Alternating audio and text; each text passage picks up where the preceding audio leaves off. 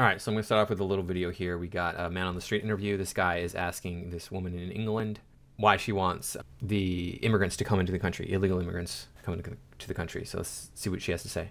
Is it anti-immigration or illegal immigration? What, what do you say? I don't think anybody's illegal. Of course not. It, this is so ridiculous. It, it, this is a semantics argument. So stupid. And you know what I'd say? Yeah, everybody's illegal, so shut up.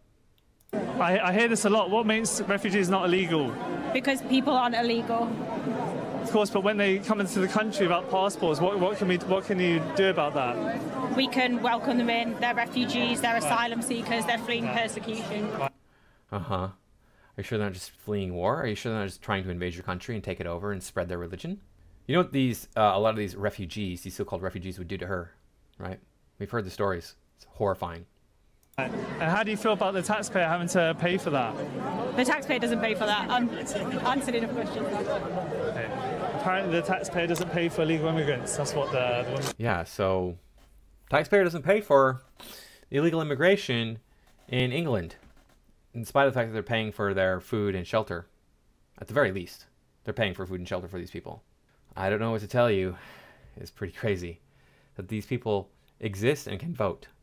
These people her, right here, is allowed to vote on policy that determines where your tax dollars go.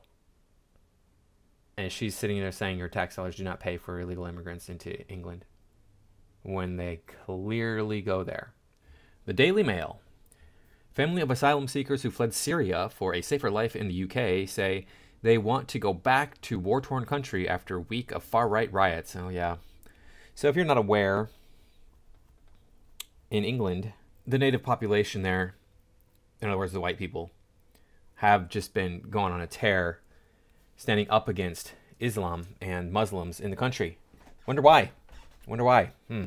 Could it be that this is a clash of cultures, and that they don't feel safe with the Muslims in the country?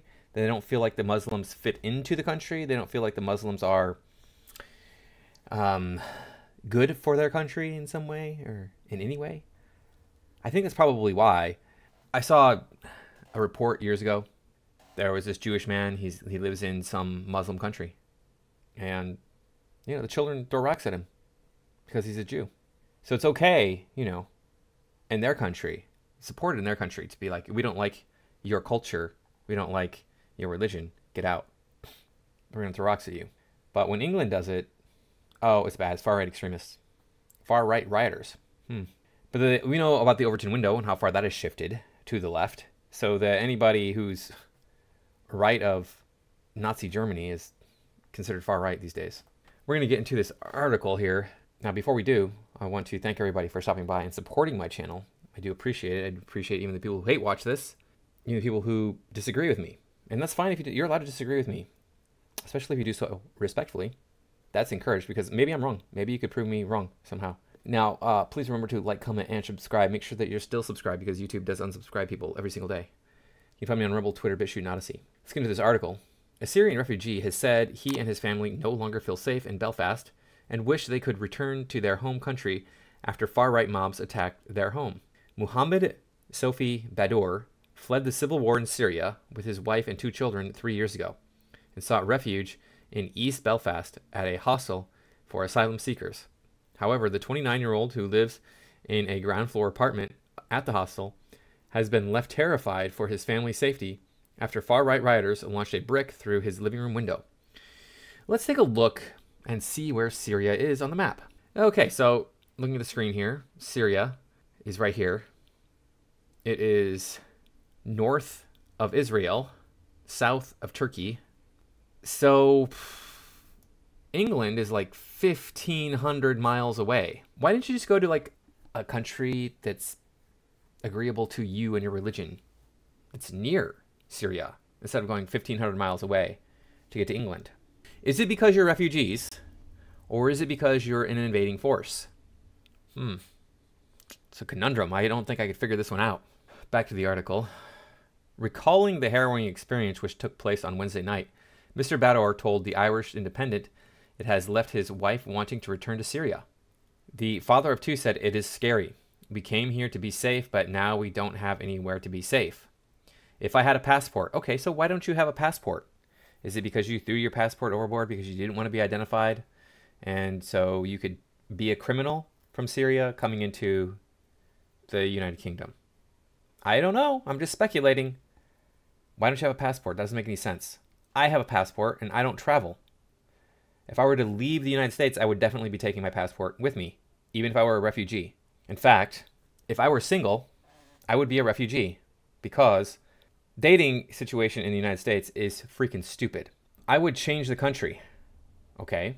I want to leave Belfast, but where can we go? You can't change the country just because you have a passport. That doesn't make any sense. What do they want? Why? I don't have any friends here, and people don't really even see me. My wife is very scared. She tells me she wants to go back to Syria. Syria is not safe, and now here is not safe. Mr. Bador, whose children are aged 5 and 8, said that he and his wife and kids slept in his car after the attack because they feared they were going to set fire to the house. I am scared for me, of course, but I'm scared for my family and the two children. The, and the two children were inside. Well, let's take a look here at some videos of Muslims in England. So here we go. Notice they're carrying clubs, screaming, running, not, running through the streets. Looks like they damaged that vid screen over there. Now the caption on this one was they're hunting down white people, but there's a lot of white people around that they're not bothering. So I don't know what they're doing, but they are running through the streets with clubs. And they're saying that they also have knives, and if they have the knives, the knives are going to be smaller and harder to see. So they could very well have knives, and we would not notice. So you can see that they got sticks. That they're banging on the rail with.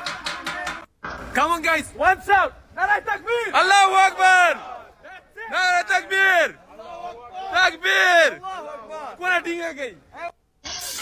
I find it. Well, it looks like he might have a knife right here in his hand. Um, I find it to be troubling when they start screaming Allahu Akbar. And you might be thinking, well, that's prejudiced of you, anti warrior. Why would you feel like they're just saying Allah is great, right? All glory to Allah, whatever. However you translate it, doesn't really matter. But if I went to say a Muslim country, a country that is run by Muslims, because a lot of these countries that are Islam, they have that in their politics. And I started screaming, and I had a group of group of men with me with clubs and knives, and we started screaming, "Jehovah is great. Jehovah is the greatest. Whatever, all power to Jehovah." Whatever you want to say regarding a different religion that is not Islam, wouldn't you be a little bit concerned for your safety and that's what I don't understand why these European countries want to bring in millions upon millions of Muslims. They're saying that London is 63% Muslim now, something like that. It's 63% foreigner. It's not English born anymore. That's millions of people. That's millions upon millions of people because London is a big city. Why would you want to displace your native population like that? That doesn't make any sense to me, especially with a population that wants to destroy everything that the West has, that your culture has, that your country has, and rebuild it in their own image, their own religion.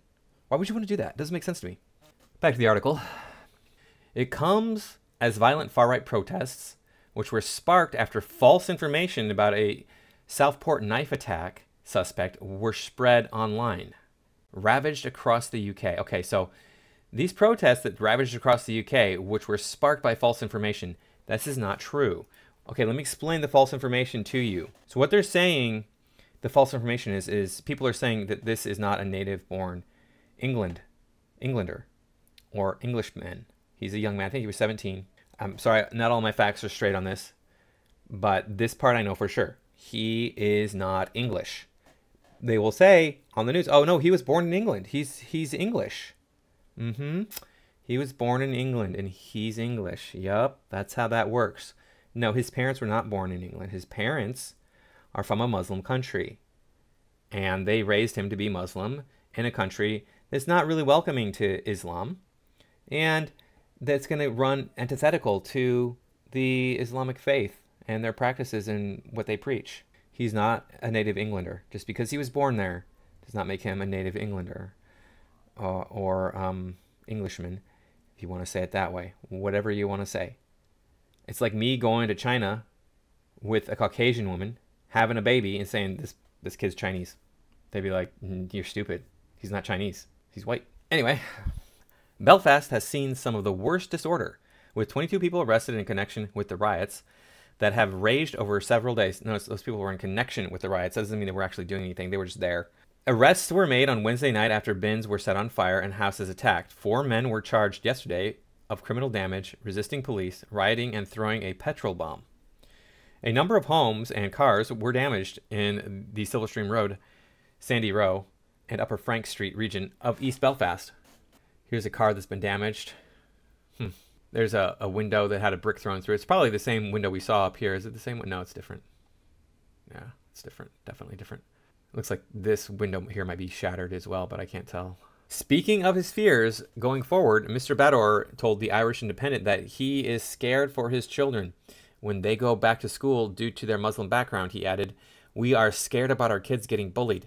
My son is very scared because he has never seen anything like this before. Newsflash, you don't have to be Muslim. You can denounce the Muslim faith and be a different religion. People have been nice since we first came here, but last week and this week has been very bad for us. My kids will be starting school again this month, and maybe there will be problems there for Muslim children now.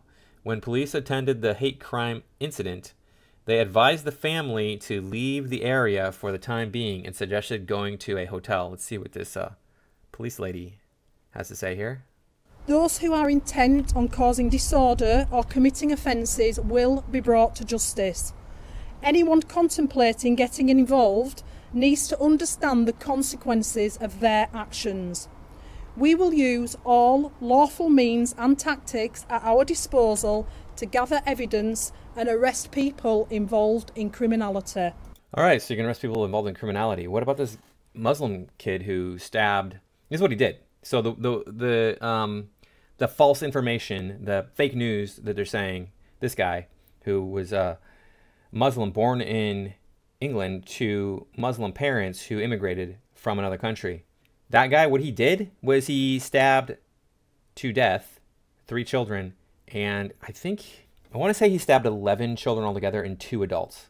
My numbers are not quite right there, but it was a lot more people that got injured by this guy. Did you arrest him? Did you hunt him down? Did you throw the book at him? Did you deport him? Did you deport his family? Did you do anything to him? No. Did you do anything? I, I'm sure that he's probably been arrested or something. But that's what this all is coming from. A Muslim ending the lives of young girls. And oh, they were they were bad because they weren't Muslim. Well, don't live in a Muslim country or don't live in a, a non-Muslim country then. You're gonna take on the whole world. Or are you gonna kill? Are you gonna kill billions of people? Because there's billions of people who are not Muslim in the world.